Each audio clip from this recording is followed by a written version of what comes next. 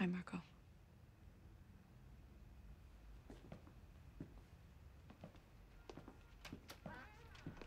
Your apartment is different than how I pictured it.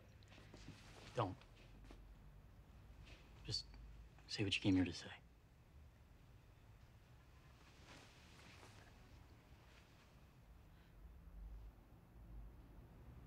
Look, I didn't exactly expect a warm welcome, but it's it's hard to talk to you when you're looking at me like that. How am I supposed to look?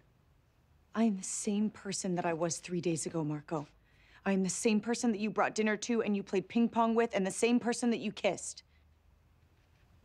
No, that might be true.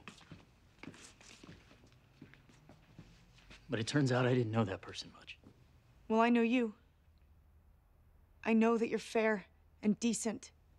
You're involved in a murder. Look, Dunhill was a monster. He preyed on people, lost, vulnerable people, people who trusted him.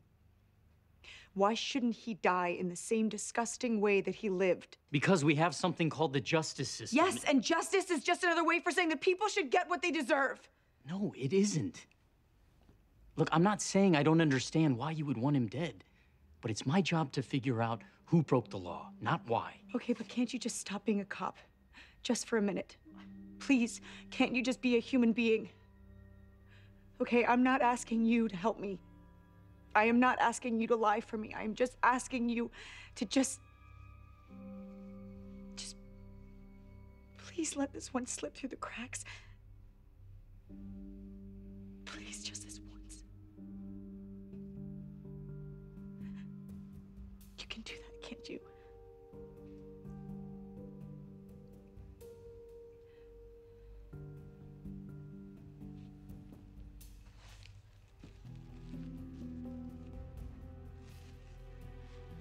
No.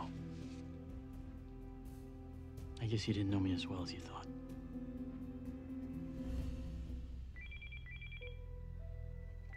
I've got to get that. You've got to go.